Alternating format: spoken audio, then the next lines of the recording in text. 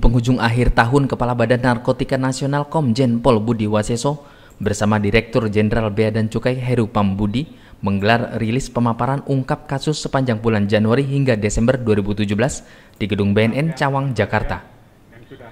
Sepanjang periode satu tahun ini, pihak BNN telah berhasil ungkap 46.537 kasus narkoba dan 27 kasus tindak pidana pencucian uang yang bersumber dari kejahatan narkoba apakah narkoba baru itu murni dari dari kasus-kasus yang berhasil diungkap dalam kurun waktu satu tahun ini, pihak BNN telah menyita beberapa barang bukti.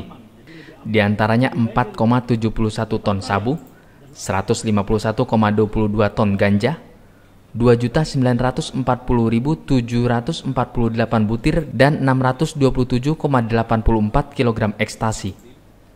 Sedangkan dalam kasus TPPU terkait kejahatan narkoba, barang bukti yang diamankan berupa aset di antaranya dalam bentuk kendaraan bermotor, properti, tanah, perhiasan, uang tunai, dan uang dalam rekening yang berhasil disita mencapai nilai 105 miliar 17 juta rupiah. Adapun aset-aset jaringan sindikat narkoba yang disita oleh negara ini nantinya akan dimanfaatkan guna mendukung kinerja aparat dalam hal penegakan hukum tindak pidana narkoba sebagai pertanggungjawaban pada publik saya sampaikan bahwa pada tahun ini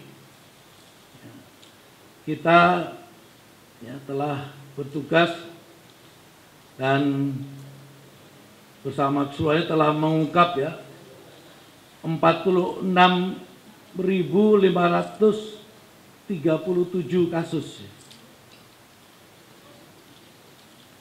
dan 27 ini tidak pidana pencucian uang. Jadi 50 kasus narkobanya itu ada eh, 46.537 kasus narkoba, 27 tidak pidana TPPU-nya. Jadi seperti saya sampaikan, kita mengungkap narkoba jaringan disertai dengan tidak pidana pencucian uang. Dari jumlah pengungkapan kasus-kasus tersebut, petugas berhasil mengamankan 58.365 tersangka kasus narkoba, 34 tersangka kasus TPPU, dan 79 tersangka yang ditembak mati petugas yang melawan saat hendak dilakukan penangkapan. Dari koran lampu hijau, Pak. Oke. Dari di 2007. Dari Jakarta, tim liputan Tribrata TV. Salam Tribrata. Apakah narkoba baru itu murni dari you.